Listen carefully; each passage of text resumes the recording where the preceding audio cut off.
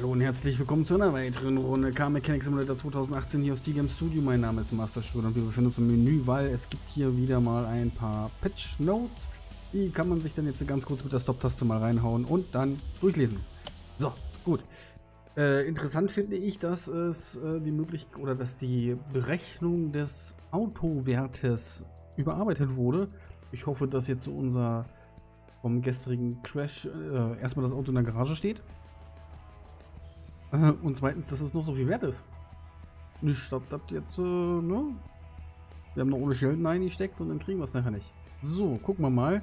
Hier steht dann nämlich die rote Rache, die wollen wir nämlich gerne verkaufen. Und zwar hat er ein, nein, der Wert ist immer noch der gleiche, 125.000. Ich habe gestern Abend nochmal, oder gestern bei der Aufnahme nochmal geguckt. Ähm, das war genau der Preis. Gut, dann verkaufen wir das Fahrzeug. Weil das Geld können wir gut gebrauchen. Wieder Nein geklickt? Na, ich bin ein Held. So, gut. Und somit sind wir bei kurz vor 300.000 an der Kohle. Und jetzt machen wir ganz schnell mal einen Kundenauftrag, weil wir wollen Level 44 erreichen. Äh, oh, hier haben wir natürlich...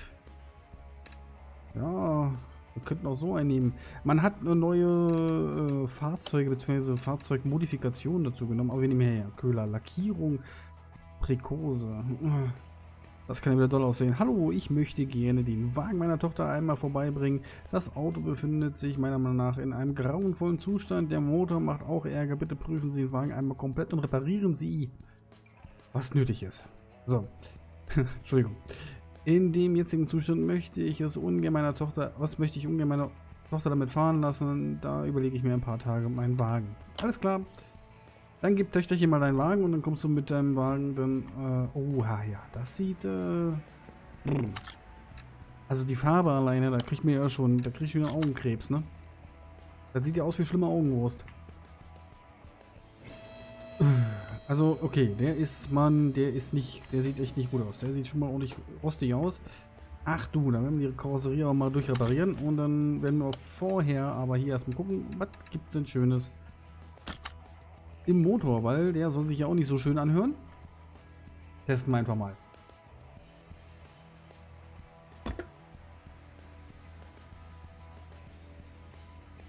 Okay. Alle Kolben sind Schrott. Ja, dann brauchen wir eigentlich auch nicht wie weiter testen, ne? weil dann brauchen wir eh alles auseinander. Wenn wir bis zu den Kolben wollen. Gut, dann fangen wir einfach mal an, würde ich sagen, ne? Äh, na gut, ABS Motorsteuergerät, das sieht alles auch noch ganz gut haltbar aus. Ähm, Teil nicht gefunden. Kurbelwelle. Äh, ja. Das sieht gleich nur so. Achso, warte mal, was ist bei der Karosserie zu machen? Reparieren, tausche Teile der Karosserie aus. Stoßstange, Scheinwerfer, also quasi alles. Okay. Öl, lackiere in gewählter Farbe, in Originallack. Na, wenn der mal nicht wieder weiß wird am Ende. Gut, dann müssen wir jetzt äh, auf zu den Kolben. Ach, wir haben ja gerade erst so den Motor genau auseinandergenommen. So, jetzt habe ich, ach ja, jetzt habe ich die Errungenschaft Wrenchmaster Bronze bekommen. Das ist übrigens auch vorne im Willkommenscreen gerade zu lesen gewesen, dass sie genau dieses Archivment verbessert haben. Keine Ahnung, was man da jetzt, was das jetzt war, was man dafür machen musste. Aber wir haben bekommen, was da stand und das ist natürlich auch sehr risikoreich. Ne? Man nimmt die Kurbelwellenhalterung schon raus, während der Zahnriemen drauf ist. Jeder normale Mensch würde das nicht tun. Entschuldigt mich dafür.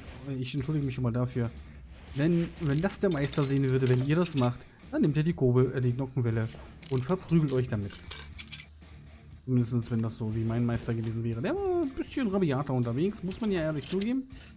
Da ist dann auch durchaus mal auch Werkzeug durch die Gegend geflogen. So, die Bakterie kommen da mal ran an die Lichtmaschine. Sehr gut. Dann brauchen wir das Teil hier. Den Motorblock können wir ja drin lassen, ne? Aber alles andere müssen wir einmal abbauen. Wenn wir bis zur Kurbelwelle wollen. So. Bahnriemen Achso, erst den Riemenspanner weg. Entschuldigung. Wollte da jetzt nicht vorgreifen. So.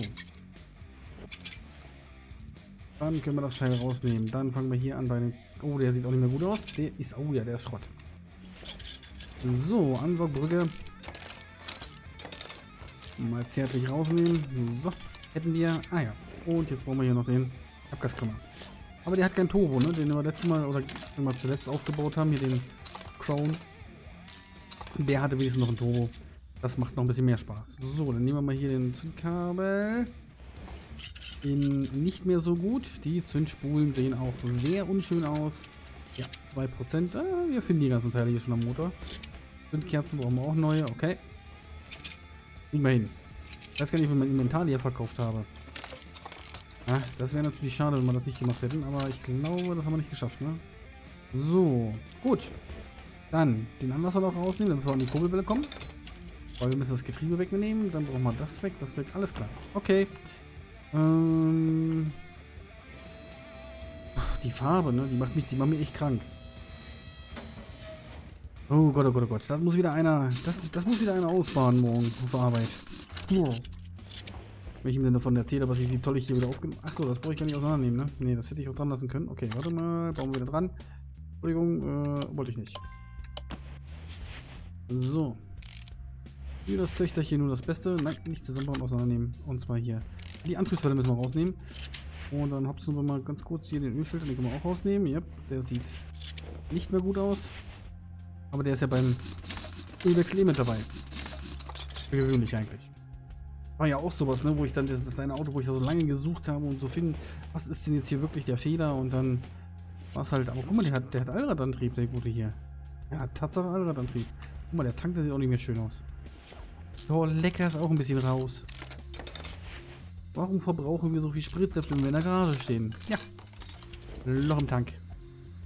Das ist ja so, wenn jetzt hier so einen richtig guten alten äh, Amerikaner den an der Tankstelle gegeben ne, da sagt der Tankwart auch so, können Sie mal bitte das Auto ausmachen? Ich komme mit dem Nachfüllen nicht mehr nach. Ja, okay, der war nicht gut. Ich gebe zu, er war nicht gut. Ist von Fips Asmussen. Tut mir leid. Aus meiner Jugend, da habe ich eine Kassette von Fix, Fips Asmussen gehabt. Und äh, wer den nicht kennt, kann mal ganz kurz danach googeln. Der sieht ein bisschen lustig aus, der Typ. Er wird auch die norddeutsche Witzekanone genannt. Und äh, ja, ja, der macht halt eben viele, viele, viele komische Witze. Ähm, Im wahrsten Sinne des Wortes. Manchmal sind sie sogar lustig. Äh, manchmal schämt man sich dafür und das ist dann so Flachwitzparade Nummer 1. Aber wer da Interesse dran hat, kann da mal gerne noch googeln. Okay, das haben wir gerade schon gemacht. Komm, weg mit dir. So. Dann werden wir jetzt die Ölwanne hier rausnehmen. Dann werden wir gleich sehen, dass wahrscheinlich auch die Pleuelager alle ein bisschen schrottig sind. Ne? Ja, ja, ja. Also wie man das hinkriegt, dass im Motor alles Murks ist und außen alles gut, das ist natürlich auch eine Kunst, die soll man mal erklären. Aber macht, macht er bestimmt unser Kunde, also da sagt er bestimmt dazu. Aber dann dürften wir eigentlich fast alle Teile haben, die defekt sind. Bei diesem Wunderwerk, der, keine Ahnung wo das herkommt, aber es sieht ein bisschen komisch aus, das Auto. Was das jetzt für ein Verschnitt sein soll, weiß ich noch nicht. So, dann runter mit der ganzen Büchse. Dann ziehen wir da mal ein paar Kolben raus. Hoppala. Kolben raus. Hier. Den. Den. Und Nummer 4 auch noch. Zack, da ist er raus. Dann fahren wir das ganze Ding wieder hoch. Dann holen wir schon mal Schweißgerät her, ne? Während das da hochfährt. Aber der Opel, sieht schick aus, ne? Wir könnten doch dem Opel, wir könnten einfach sagen, hier komm, ich behalte die Meere. Ein Opel, äh, der, da hast du viel mehr davon, ne? Da hast du viel mehr Spaß mit. So, dann schweißen wir hier einmal ganz kurz die... Ne, doch, wir müssen ja auch herklicken. So, dann sieht das schon mal wieder ein paar Teile ein bisschen schöner aus. Und wegfallen. So. Gut, dann raus mit dir. Und jetzt wird im Auftrag geguckt, was haben wir alles gefunden. Wir haben alles gefunden. Sehr gut. Dann gehen wir ganz kurz mal an den Reparaturtisch reparieren, was wir reparieren können. Vielleicht ist hier was dabei. Oh, ein paar Teile haben wir. Gibt als kostenlose Dreingabe, dass wir das noch etwas verbessern. So. Gut, meine Damen, meine Herren, wir fangen an mit der Kurbelwelle für den R4. Die müssen wir neu kaufen. Ah, gut. Ähm. Huch, was ist das denn hier? Die sind aber neu.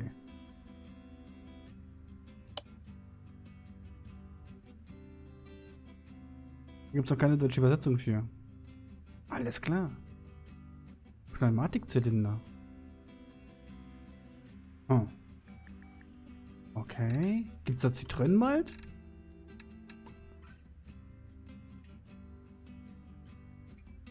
Bentley soll ja rauskommen, ne? Aber Pneumatikzylinder, das war doch... Das war doch, das war doch eigentlich, war das doch Zitronen mit den Pneumatikzylindern, ne? Mit diesem, dieses, das sah ja auch so geil, also ja, geil sah das auch nicht, aber sah so ein bisschen eigenartig aus, das äh, Auto und ach, ich weiß es gar nicht mehr. Oh Gott. Wir sollen eh hin, kein Weh. So. Wir brauchen vier Deckel und vier Kolben. Und dazu brauchen wir noch Kolbenringe. Hier mal neu. Dann brauchen wir alles, was zur Zündung gehört. Und Doppelfunken. Ähm, das ist der SOAC. Und dann brauchen wir noch die Zündkerzen. Hier mal. Gut. Das ist der gleiche Motor drin wie in dem Opel, ne? Achso, den Ölfilter können wir noch kaufen. Mann, gehen wir gleich mal hin. Äh, Ölfilter in blau. Dankeschön. So. Haben wir das nämlich auch schon geschafft. So, dann bauen wir hier von erstmal wieder was an. Den Auftrag, den kriegen wir noch. Den gehen wir gut durch hier. Naja, gut, 11 Minuten haben wir schon. Na, mal gucken, mal gucken. Vielleicht müssen wir es auch splitten. So, dann werden wir hier das Getriebe anbauen. Da ist ja jetzt nichts weiter dran gewesen. Die Scheibe haben wir noch repariert, haben wir noch mal ein bisschen dann auch noch Belege drauf gemacht oder ähnliches. Das war früher übrigens Asbeststaub, also aus Asbest ganz, ganz früher, diese Scheiben, äh, wegen der Haltbarkeit. Und das war, hm, naja, sagen wir mal, ne, vom gesundheitlichen Aspekt her ist das halt nicht das Beste. Guck mal, das Getriebe haben wir auch richtig schön wieder sauber gemacht. Ah, wir sind schon, wir sind schon eine nette Werkstatt. Wir sind schon eine gute. Das kann man durchaus sagen. Also wir sind kundenorientiert. Ich denke mal, hier wird auch jeder gerne wieder herkommen. Aber das mit den Gasdruckdämpfern könnte mich mal interessieren, wo die herkommen, welches Auto das ist, was sie damit vorbereiten. Weiß ich noch nicht. Mal dieses Bentley-Gelumpe, das ist ja natürlich schon mal interessant, wenn die kommen. Da werden wir sicherlich dann auch die Bentleys erstmal versuchen, irgendwie auf den Schrottplatz zu kriegen, damit wir richtig Geld verdienen damit. Ne? Also diesen neuen modernen Bentley und so, der kostet ja richtig Schweine Kohle. Und wenn wir da dann sagen, hey, wir reparieren den direkt vom Schrottplatz, kaufen den dann wahrscheinlich für 50.000 oder so, aber können den dann für, keine Ahnung, 250.000 verkaufen. Da Geld für Teile reinstecken, warum nicht, ne? So.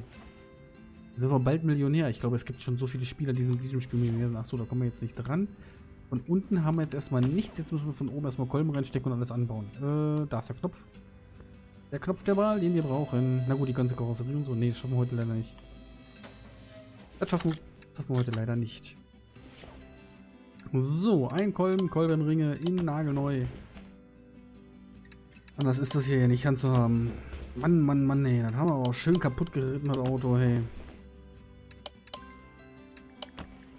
Das tut ja dem geneigten Spieler in der Seele weh. So. Und, oder Mechaniker. Wir mal Mechaniker, ne? So ein so kaputtes Auto. So, Nockenwelle drauf wieder. Haben wir auch repariert, die kriegt sehr gut. Deckel kann man nicht reparieren. Okay. Das, also das ist auch wieder so eine Inkonsequenz, ne? Die Hobelwellendeckel, die kriegst du repariert. Nockenwellendeckel nicht. Warum nicht? Die kann ich doch genauso mit der Drahtbürste bearbeiten, dass sie wieder gut aussehen. Und mal ganz kurz gucken, ob da nicht äh, irgendeine Riefe drin ist oder das vielleicht mit einem ganz feinen Schleifpapier, da wo sie drin läuft, die Hülse quasi, also da wo, wofür sie nicht da ist, dass sich das festhält, ähm, dass das wieder richtig schicki ist und im Plan ist und alles zusammenpasst und das gut wieder hält und ähnliches. Naja, gut. Äh, wollen wir uns nicht weiter vertiefen da drin. Es ist halt so, das Spiel macht es so und man kann ja Verbesserungsvorschläge vielleicht hinschicken. Ich, könnte, man, könnte man eigentlich mal, mal probieren, ob man das irgendwie hinkriegt, ne? Wenn jemand direkt anschreibt und sagt, hey Leute, ich habe da so zwei, drei Ideen.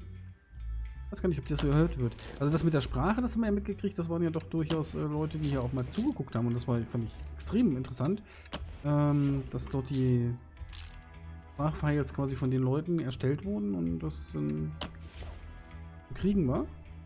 Fand ich gut. Und dass dann halt eben auch Playway sich das angenommen hat, oder beziehungsweise der Entwickler. Glaube, ist auch Playway der Entwickler? Weiß ich gar nicht. Bin ich gar nicht auf dem Laufenden. Wer da hier was, wo, wie, wann verwickelt. So, dann Zündkerzen rein. So. Dann diese auch noch. Dazu kommt dann, achso, Zündspule. Ah, ich habe jetzt darauf gewartet, dass ich die Zündkabel draufstecken kann, aber ohne Zündspule keine Zündkabel. Das ist irgendwie fast logisch, ne? So, dann machen wir den Anlasser hier noch rein, damit wir den nicht vergessen am Schluss. Und dann kommt Abdeckung wieder drauf. Und dann gucken wir mal hier auf die andere Seite. Achso, den Kraftstofftank hätten wir hinten noch machen können. Ja, wo es mir gerade wieder einfällt. So, das Ganze hier, das... Welche Schraube habe ich vergessen? Ach, die. Das Ganze ist ein MPI. Hier haben wir aber Kraft ein.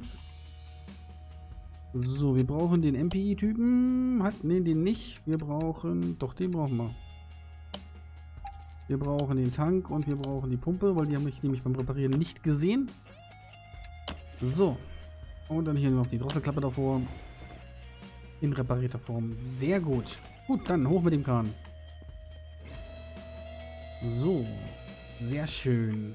Und während das Auto hochfährt und ich jetzt so von hier unten die Pleuelagerdeckel anschraube, werde ich mich von euch verabschieden und sagen, das war eine Folge Car Mechanic Simulator 2018 hier aus C-Game Studio. Mein Name ist Master Schröder. Ich hoffe, ihr hattet genauso viel Spaß wie ich. Und ihr schaut wieder vorbei und ach ja, äh, Abos und so weiter und so fort, ne, falls ihr noch nicht habt wäre ich euch sehr dankbar, denn YouTube hatte die Richtlinien geändert. Naja, gut, da gibt es ja mein Mimimi-Video äh, von vor ein paar Wochen oder ein paar Tagen. Ähm, ja, ne? Ihr wisst warum. Alles klar, bis denn. Tschüss.